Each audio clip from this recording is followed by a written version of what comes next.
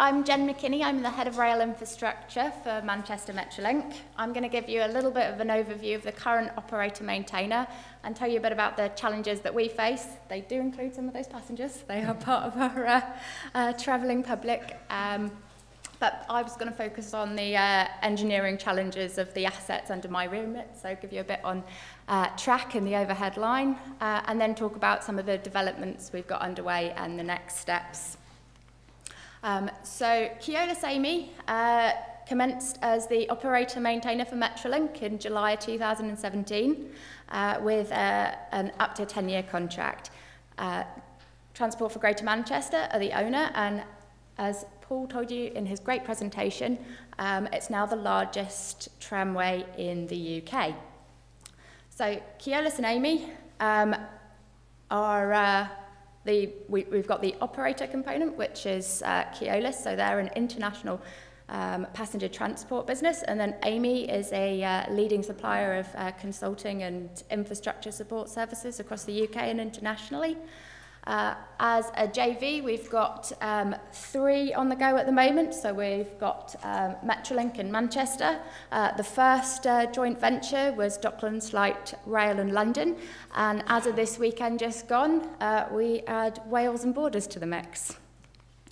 Um, it's... Uh, this is the uh, first um, operator-maintainer contract where the whole network um, comes under uh, one, one contract. Uh, and as Paul was telling you, it's been significantly expanded um, over the last few years, coming with a number of challenges. So we've now got seven routes um, and 93 stops, 120 trams, over 40 million passengers a year.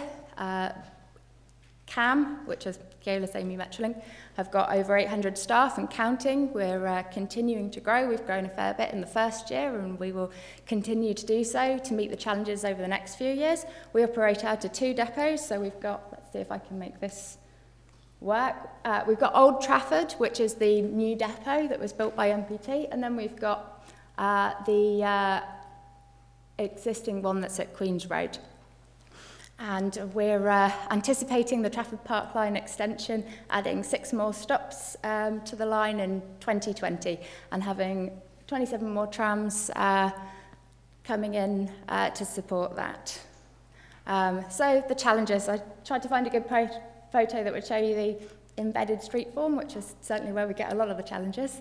Um, the overhead line, And um, I haven't got it in this presentation, but if anybody wants to know about our vegetation challenges, uh, there's certainly a few, so come find me after. Um, so the key one from a track perspective has actually been the challenges we've had about around gauge corner restoration welding. Um, so we had a rail break um, in the embedded uh, street section in Aytoun, which is on the uh, first um, city crossing, uh, shortly after the contract commenced with a rail break through the, the entire section. Uh, British Steel kindly undertook um, some analysis for us, so they've been able to uh, uh, demonstrate that there was um, some in issues uh, with the process, with the inadequate placement of sacrificial uh, final beads. Um, so uh, as a result, uh, we've actually ended up suspending the process, which comes with a number of challenges, um, because that means we've got more likelihood of needing to, to re-rail. So re-railing in the uh, city centre sections uh, has quite a, bit, quite a big impact. Uh, not only does it mean that you've got a number of uh, additions to your inspections regime, uh, be it uh, on foot or uh, with ultrasonics and the like, uh, but you actually require disruptive access. So this is one of the ones where our, our team was working diligently last Christmas to uh, replace the rail. Uh, luckily, that's where uh, the second city crossing comes into play because then you've got an alternative route if you aren't able to utilise Christmas Day. Um, so our actions, um, as I said, were to suspend the process. Uh, there's been analysis undertaken and we're working on the next steps um, to reintroduce the processor and look at alternatives um, because it will be one of the uh, uh, key uh, requirements to our rail management strategy as the contract goes on. Um, now, I would be remiss uh, as overhead line comes under my remit not to tell you about some of the main challenges we find um, operating uh, Metrolink as a contract. Um, uh, in part because it ends up having quite a significant impact to the public if you do end up having one of the events.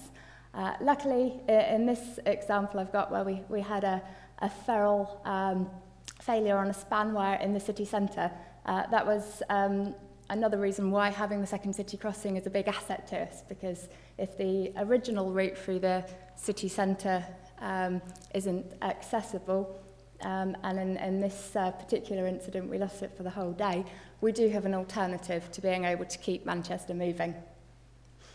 Um, so we had a number of follow-up actions um, to determine that there was uh, fatigue hidden inside the ferrule, and we're trialling some all, uh, alternatives and looking at renewal process going forward.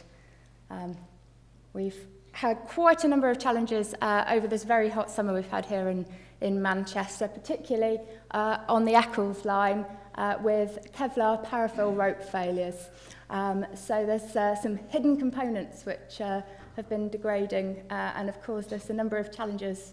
Uh, on this particular one, it was over the uh, Parklife weekend, uh, which made things quite exciting, keeping, uh, keeping it going whilst we had uh, the additional, uh, additional people in the, uh, in, in the city for that event.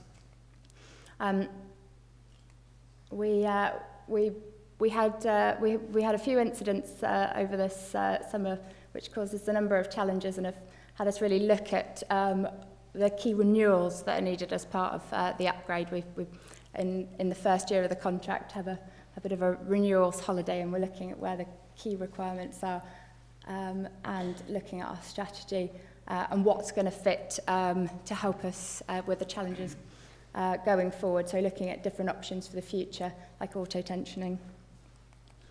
Uh, key um, to the developments are getting our asset management strategy right. Um, so that's been uh, a big part. Uh, our, our lovely bid team coined the term brilliant basics, but it really is about getting the basics right. Um, the plan, do, check, act, so that we can move into uh, the uh, data analytics world that really, uh, uh, that really was integral to the uh, performance we had on the contract I joined from that Amey had with uh, the Underground. Um, We've uh, been doing a significant amount of uh, work to determine what our statutory requirements are, standards and specifications, looking at our asset management strategy and uh, asset criticality and uh, risk management being pretty key, um, leading us to uh, implement um, or having a centralised asset management team and um, holding quite a number of uh, asset criticality workshops uh, so that we could determine um, our enterprise uh, risk management framework. Uh, with, uh, with, with quite a significant amount of work going um, to looking at um, key planning that we'll need going forward, uh, looking at um, spares and logistics and the uh, maintenance procedures and uh, not a small amount of work, um, having integrated two different organisations looking at our maintenance task instructions. So it's been really key that we start to uh, build on the, the right team.